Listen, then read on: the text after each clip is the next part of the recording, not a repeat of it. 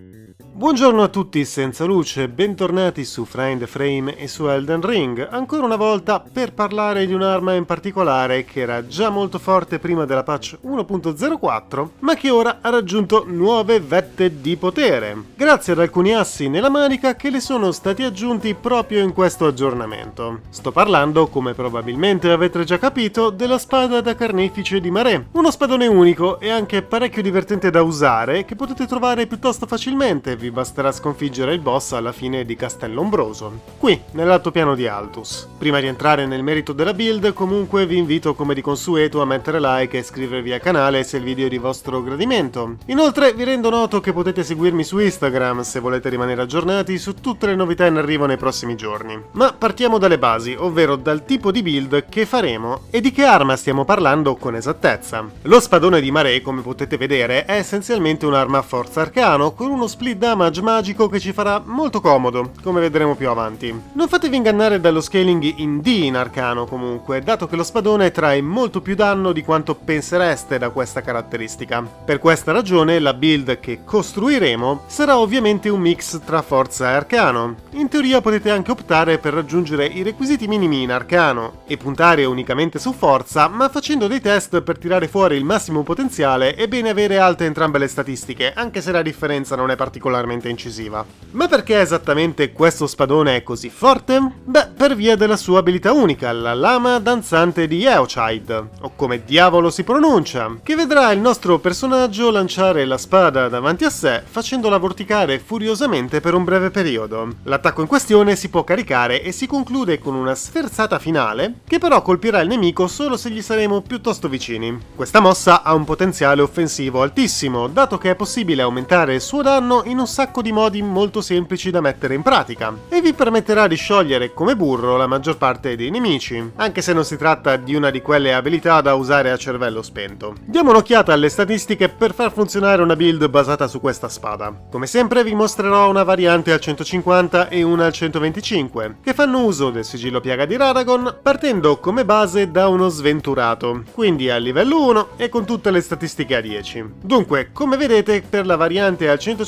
abbiamo 44 punti in vitalità, 20 in mente, 25 in tempra, 50 in forza e in arcano e 20 in fede. Si tratta di un setup piuttosto basic, a cui ho aggiunto qualche punto in fede per garantirmi l'accesso a degli incantesimi di base da usare con il sigillo della comunione draconica, che vi ricordo fa scalare questi ultimi principalmente in arcano. Per la variante al 125 ho dovuto abbassare più o meno tutto, come vedete. Abbiamo 40 punti in vitalità, 15 in mente, 20 in tempra, 44 in forza, 15 in fede e sempre 50 in arcano. Fortunatamente, nonostante le statistiche più modeste, anche qui è possibile ottenere risultati comunque più che ottimi. E avrete accesso a tutti i metodi principali per potenziare il danno di questa build. Bene, fatto il punto su questo aspetto, parliamo della spada in sé e del perché è perfettamente in grado di distruggere qualsiasi cosa mantenendo anche una certa versatilità di fondo. Ovviamente il punto di forza di quest'arma è l'abilità unica, che con la nuova patch ha ottenuto un raggio d'azione più lungo e la possibilità di cancellare l'animazione prima del fendente finale a corto raggio. Questo cambiamento potrebbe sembrarvi minore, ma in realtà è il motivo per il quale questa spada ha assunto un valore tutto nuovo ai miei occhi. Vedete, era in realtà da parecchi giorni che volevo proporre un video su questa spada, dato che la lama danzante è una skill davvero potentissima. Detto questo, il fatto che la sua abilità unica ci inchiodasse sul posto per parecchio tempo mi dava davvero fastidio, dato che mancando il colpo si era essenzialmente condannati a prendersi un attacco in faccia dal nemico di turno. Tuttavia, ora che è possibile cancellarla e ha ancora più range, beh, la situazione è cambiata drasticamente. Motivo per il quale è diventata subito una delle mie nuove armi preferite. Per usarla correttamente però è necessario settare a dovere il nostro personaggio, capendo come funziona il danno di questa abilità e quali sono i migliori potenziamenti e amuleti da usare per massimizzare i danni inflitti. La prima cosa da tenere a mente riguardo la lama danzante è che il suo danno scala unicamente sul valore di attacco totale dell'arma. Di conseguenza l'unica cosa che dovremo fare per farla funzionare a dovere sarà optare per potenziamenti che agiscono proprio su questo aspetto dello spadone. Dato che abbiamo i punti necessari in fede, la prima cosa da fare è recuperare e armonizzare Fiamma Dammi la Forza, che aumenta il potere di attacco del 20% in PvE e del 15% in PvP per 30 secondi. Un buff classico e che va sempre bene, in questo caso in modo particolare. Per quanto riguarda invece i talismani, oltre al talismano Piaga di Radagon, che ci concede 5 punti in forza, destrezza, tempra e vitalità, il frammento di Alexander è una scelta praticamente ovvia, dato che potenzia il danno delle abilità delle armi del 15% ed è qualcosa che fa sempre comodo avere.